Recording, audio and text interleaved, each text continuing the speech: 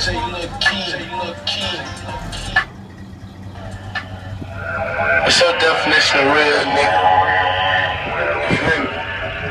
I never said I was a real nigga out here. You feel me? I want a thousand niggas.